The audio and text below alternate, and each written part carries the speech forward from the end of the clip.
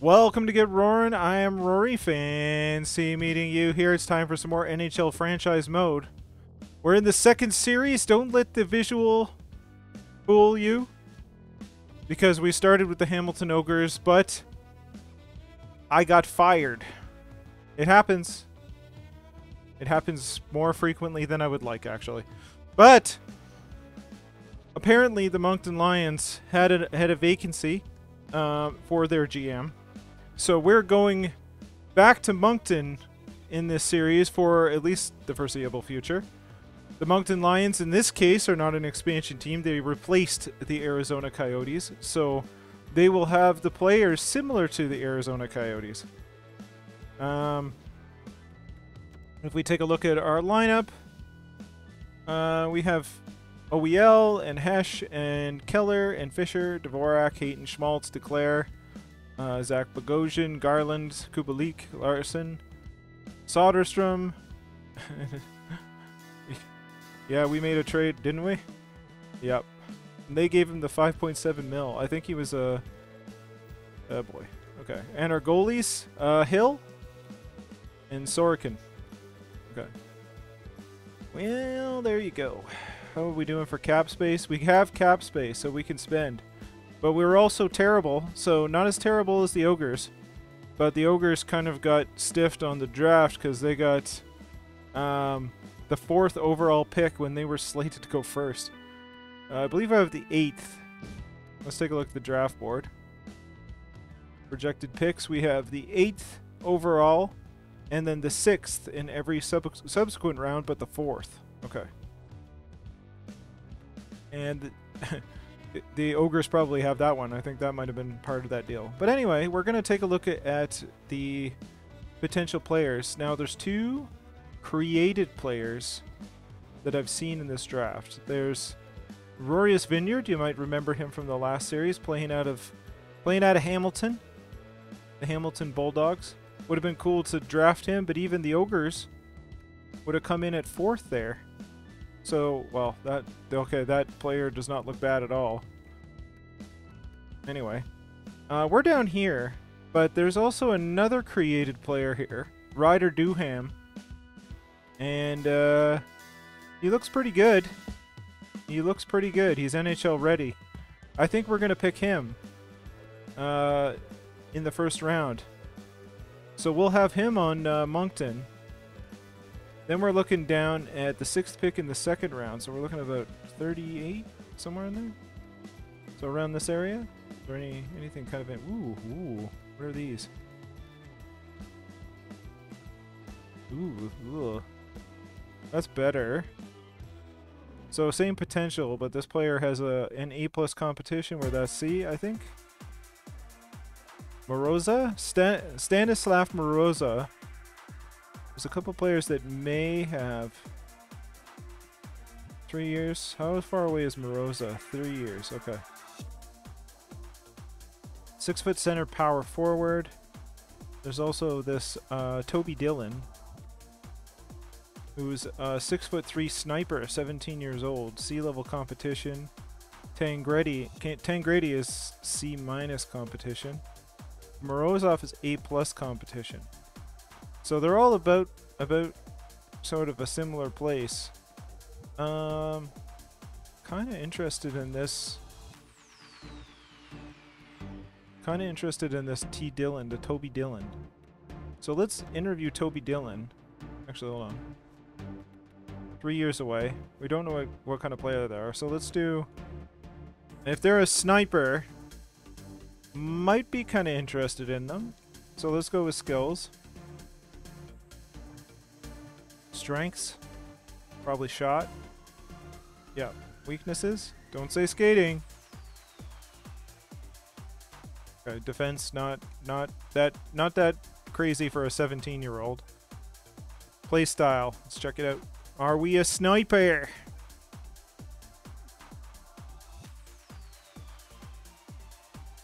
Okay, so yeah, sniper.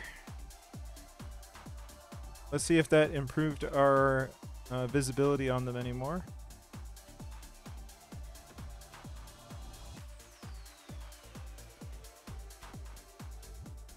Uh, didn't look like it helped much. didn't like, didn't make much, much clearer. Uh, what about Moroza?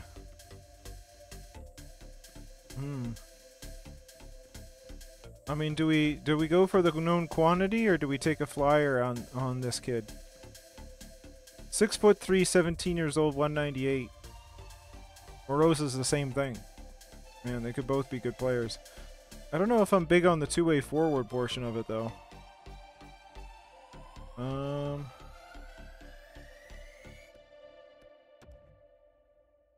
I guess we could check what kind of player they are.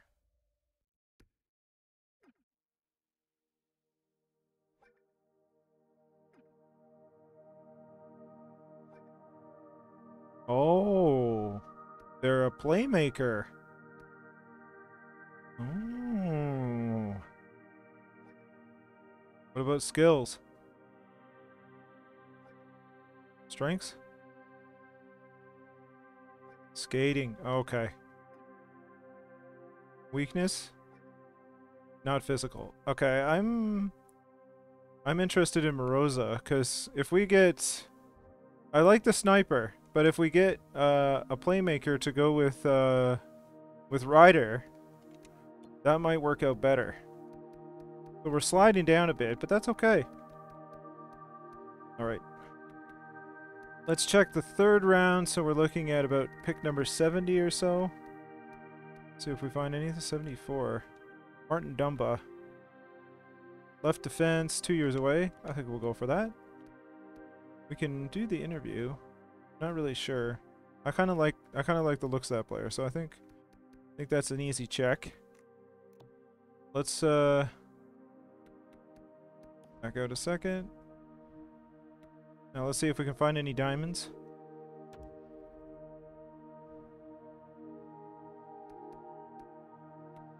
So we'll sort sort by potential. Kind of go past where we were here. A plus competition. Skating is not good. Okay. Whoa, hello. 164, Rive. Two years away, that looks pretty good. Okay, good with that, good with that. Oh, there's a gem. Vince Russell, hybrid. 18 years old.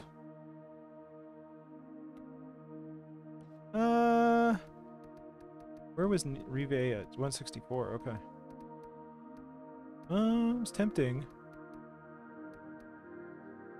start looking about here. Four years away, sea level competition. I mean, if there's nothing else in the area, maybe we can take a look anyway. A plus competition, size and strength, strength and quickness. That's that looks like an interesting project. Foot speed is a problem. Okay, we've obviously gone back to the start here. Uh, let's check about here. Three years away, not bad.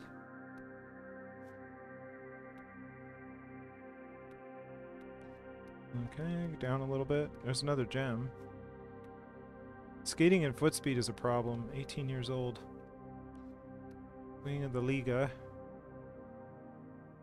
Elite speed. Okay, that's weird. We're gonna we're gonna throw that one in there because that's it's kind of strange that they would have elite speed and their skating would register that low, but not not for sure. You know, not for sure. There's Moroza. All right, let's go down here. Owen. Hard wrist shot. Four years?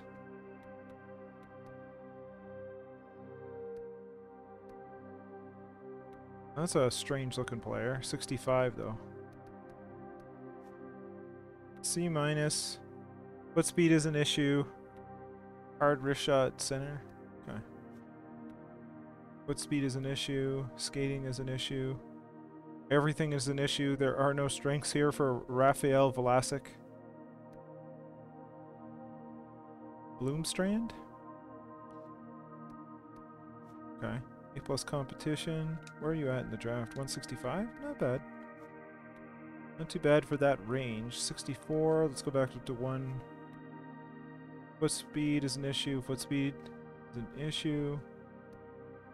Alright. Those are top of the draft there.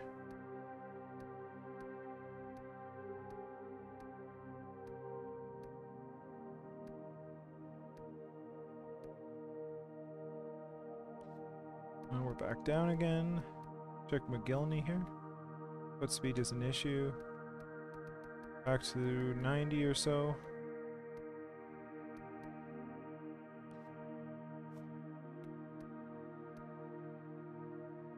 Kurt Marlowe. It's like one Marlowe retires and another one comes in.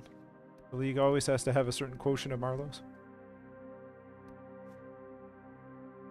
Uh, a plus. Skating is an issue. Skating is a weakness. Weakness. Right wing, two way forward, six foot five, A plus competition. Skating is horrible. Where are they? It's 55. No, okay. Let's keep going.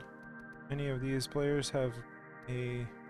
All the skating is bad, or not great. Skating is an issue.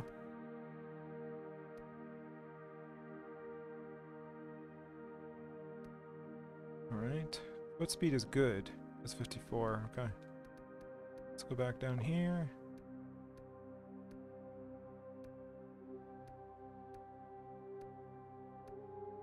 Foot speed issues.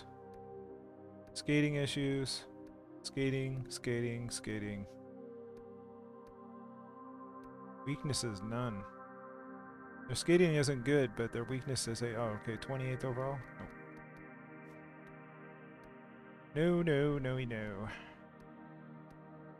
I was looking at that pick going, is it like 180 something? That'd be great. No.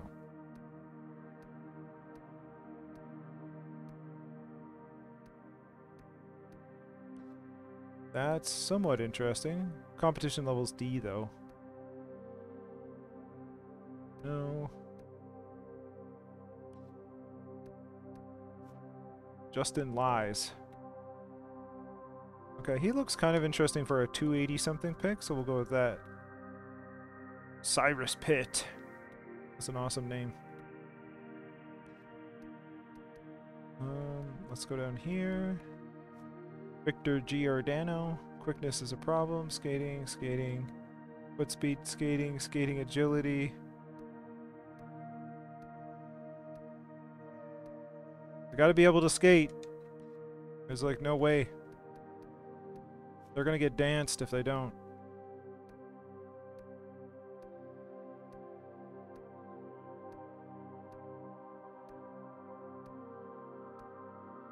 Alright, quickness, shot, acceleration. I'll make the exception here or there if I see something in a player, but for the most part, when they have skating, foot, uh, foot speed, and mo mobility problems at this age, then I mean they can be overcome, but it's always good to have a good base. That's a weird looking player right there. A plus competition, foot speed is an issue.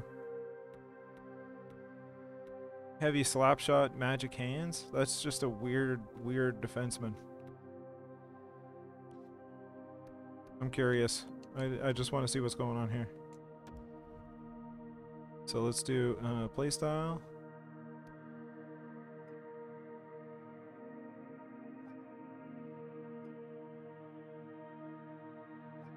Defenseman, I believe I can join the rush and still be the first man back. Okay. 2 AD probably. A lot of learning to do, that makes sense. Let's look at their strengths.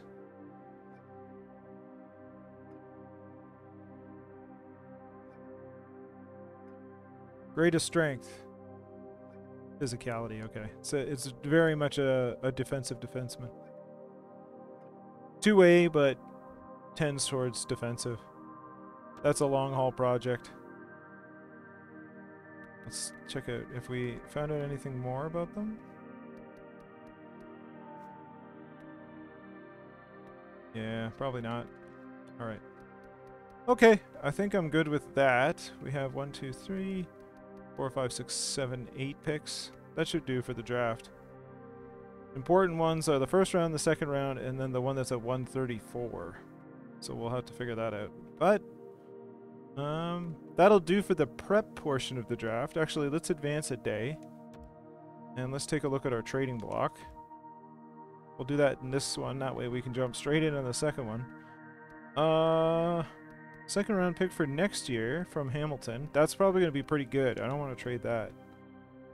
Uh, don't want to trade this year's. Uh, I don't know why that player's on the block, but let's take a look at any aged players. OEL. OEL is with us for five years. OEL is good. That'll take him to the age of 36. I don't think that contract is going to age well. So we're going to put OEL on the block.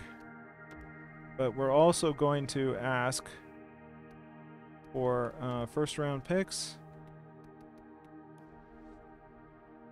And we'll ask for all the picks next year. That's fine. Um, let's get rid of these whatever stuff. We'll look for uh, a top tier forward. So like first line forward. Uh, 28 years old, probably about there. Or uh, top two defense.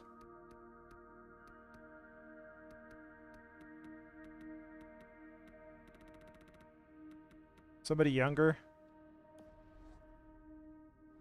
Alright, we'll go with that. Backup goalie I can sign. Not too worried about that. What do we, what do we got tied up in money? Keller's fine. Kubalik is... That's interesting. We'll have to give him a better shot to try and compete. Uh, Schmaldz is fine. Larson... I guess we can try and get him get him to be more give him give him more opportunity, I suppose. That'll happen if we trade trade away OEL. Uh, Garland, that's a hefty contract for four years. Uh, Fischer, that's fine. We got a lot of like hefty contracts that may not be that may not you know work out well. I'd like to keep Duclair. Alexiak is fine. Okay. Um, goalies. What are we doing for goalies? Not not much to talk about there. Okay. So OEL may be the only one that uh, that I'd like to get rid of. Well, that'll do it for this episode. Thank you very much for your time. Welcome back to Moncton. I'm still that's uh, still bothers me. I really wanted to build Hamilton. I really did, but I messed it up. So here we are back in Moncton for some reason. And uh, we'll see what we can do with them. we got a fun draft coming up. I'll see you in the next one. Hit like if you liked it. Remember to subscribe if you haven't already. Check out the description for the socials. And I'll see you at the draft.